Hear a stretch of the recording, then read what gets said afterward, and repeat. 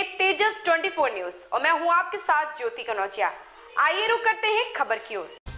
ग्राम कुंडा जिला बस्ती बिजली की समस्या को लेकर नितिन कसाना व निशांत बड़ाना द्वारा बिजली समस्याओं को पूरा करने की मांग को लेकर बिजली घर पर ग्रामीणों ने किया धरना प्रदर्शन। और धरना प्रदर्शन करते हुए लोगों ने अपनी अपनी समस्या को बताया, जैसे कि गलियों में बिजली के खंभों पर तारों का जाल बना हुआ है और लाइटें खराब होने के कारण अंधेरे में लोगों को काटना पड़ रहा है।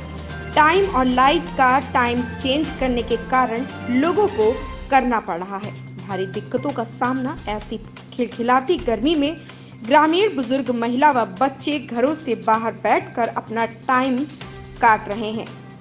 बिजली विभाग की बड़ी लापरवाही देखते हुए। आपने जो धरना प्रदर्शन किया किस विषय को लेकर के?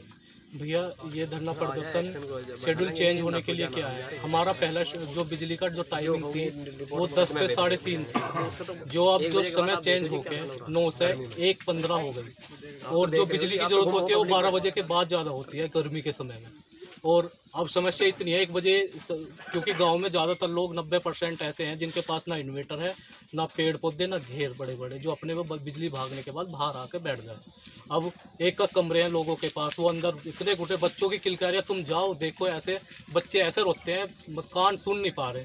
आज इस समस्या को लेकर हम आके धरने पर बैठ गए, जब बिल्कुल कंट्रोल हो नहीं पाया, और अब मांग सिर्फ़ यही है, धरना तब हटेगा, जब जाके हमारा शेड्यूल पुराने जैसा हो जाएगा। क्या आपको पूर्ण विश्वास है कि आपकी तो उनका भी फ़ोन आपकी समस्या का समाधान होगा? हाँ जी समाधान होगा। सौ के सौ परसेंट होगा। और जो ना हुआ तो कल से भूख हड़ताल पर बैठ जाएँगे।